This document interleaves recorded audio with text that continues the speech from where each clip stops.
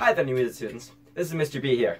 I play trombone, and today we're going to talk about the importance of warm-ups. Now you're probably thinking to yourself, warm-ups? That's a waste of time.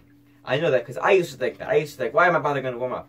I'll just play my piece, and eventually I'll be warmed up enough. What if you're in the middle of a concert, and you have a solo right in the beginning, and it ends up sounding like this?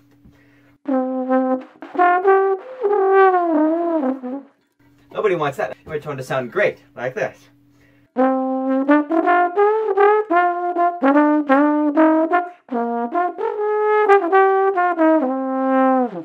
That's why we warm up. It helps. It also helps you get better at your instrument. By warming up, you build your embouchure and literally warm up your lips, so your tone sounds nicer. Now let's talk about some warm-ups that I usually do. A good warm-up is always a scale, any scale that you know. So let's start with a B flat major concert scale. We'll do one octave from now, but if you can do two octaves, feel free to do it by yourself.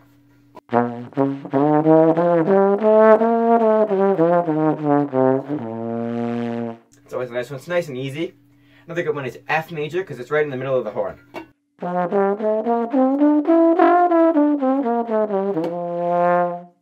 It's a nice one as well. Another great warm-up that I like to use is a B major scale. And you're thinking that's really challenging, but it's really not. In trombone we have a trick when we're going to play in hard keys. So imagine playing a C major scale.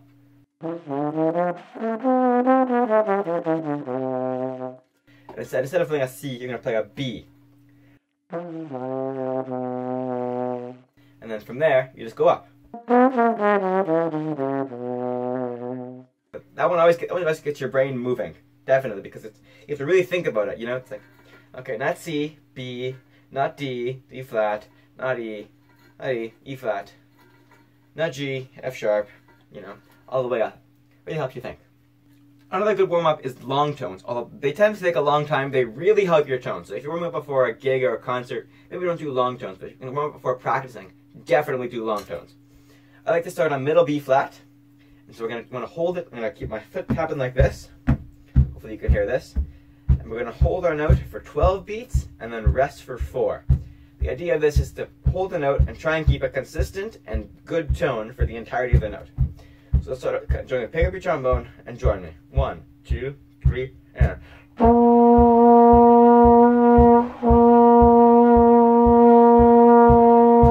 now B.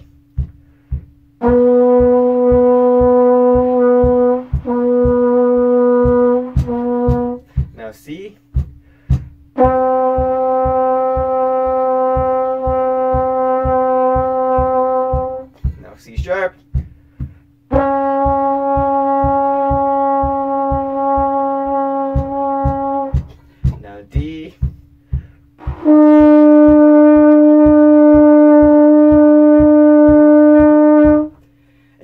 up the horn. It takes a long time, so I won't do them all right now.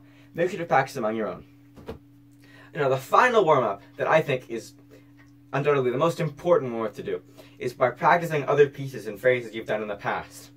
So for example, last year my band played this chart, Humanism, arranged by Paul Murtha, and I, I played second trombone. I had a solo written in here. It's pretty boring, definitely below my skill level. So I like to warm up with this solo right here. I'll, I'll, I'll have a photocopied version, or a transcribed version up on the screen right now.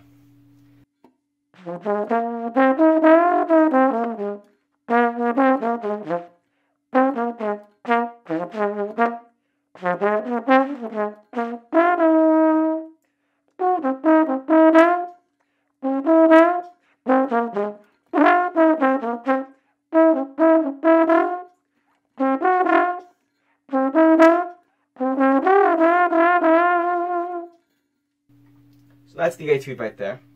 Pretty boring, almost skill level. So go through your sheet music you have, pick an old song that you really liked, and play some parts of that, right? So that's all from me from this mini lesson. Keep practicing, and I hope to see you in the next episode. Bye-bye now. Thanks so much for watching this lesson.